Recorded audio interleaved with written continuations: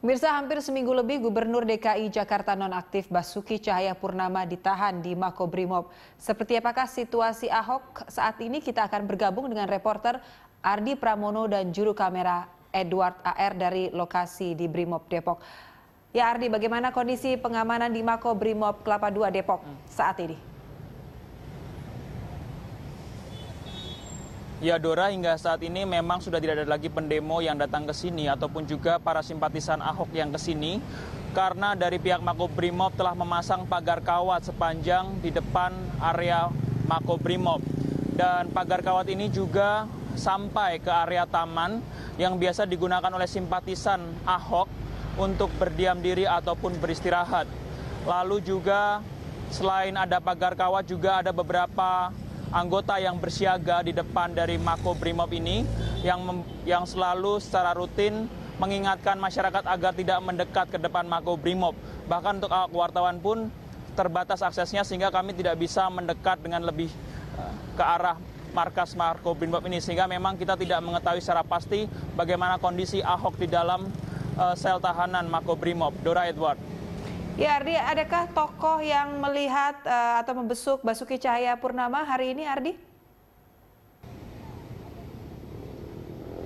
Ya memang hari ini adalah hari besuk untuk para simpatisan Ahok ataupun juga rekan-rekan dekat maupun juga keluarga dari Ahok.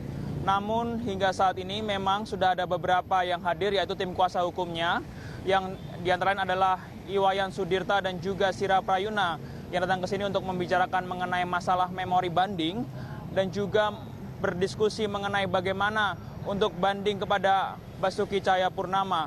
Kemudian juga tadi sempat ada Jarod Saiful Hidayat juga yang datang ke sini yang tadi juga sempat tidak meski datang ke sini tapi Jarod belum sempat untuk memberikan suatu dapat dilihat saat ini Dora kita beralih dahulu di situ kita melihat bahwa para awak media sudah berkumpul untuk menemui dari tim kuasa hukum Basuki Cahaya Purnama. Kita bisa melihat sedikit dari sini Dora. Tadi memang sebelum masuk juga Dora dari pihak tim kuasa hukum sudah menyampaikan bahwa mereka telah mengatakan memori banding telah selesai dan juga menyatakan bahwa untuk saat ini mereka tetap menganggap bahwa penahanan Ahok itu ilegal. Dan berikut ini adalah kutipan dari tim kuasa hukum Ahok yang disampaikan sebelum mengunjungi Basuki Cahaya Purnama. Pak Sira, saya, Bang Riko, udah menyiapkan semua. Memori bandingnya udah siap. Tapi kan harus tetap membaca berkas supaya cocok nggak data-data yang kita punya. Begitu cocok, tidak ada masalah, langsung banding dimasukkan.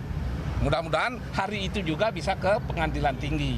Oleh karena itu clear ya, bukan kita yang ditunggu, tapi kita sedang menunggu surat dari pengadilan negeri untuk insah ke